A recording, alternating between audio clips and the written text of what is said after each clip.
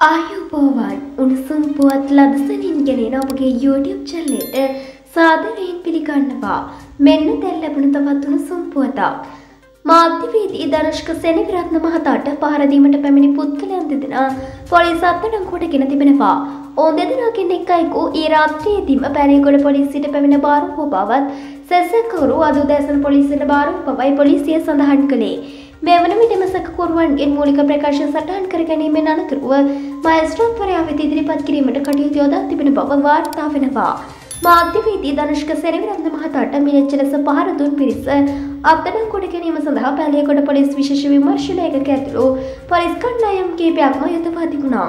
මෙම පහර දීම ධනුෂ්ක සෙනවිරත්න මහතාගේ හිසට බරපතල තුවාල සිදු වී තිබෙනවා.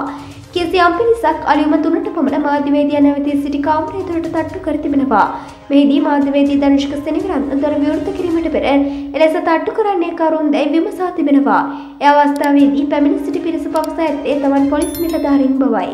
ඉන් පසු උප සහෝදර මාධ්‍යවේදී ධනුෂ්ක සෙනවිරත්න නවතන් පොළ දොර විවෘත කර ඇති අතර කාමරයට ඇතුළු ඉන් දෙදෙනෙකු මැර පිරිසෙන් එක්ක අයෙකුගේ නවතන් පොළේ රැඳී සිටින තවත් අයෙක් පිළිබඳව විමසා තිබෙනවා.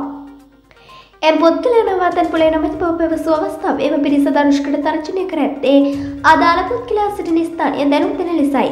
ඒ බව තමන් නොදන්නා බව පැවසූ විට අධික ලෙස බීමතින් සිටීම මැන පිරිස කුපිත වී තමන්ට පහර දුන් බව ධනුෂ්ක සෙනවිරත්න පැවසුවා.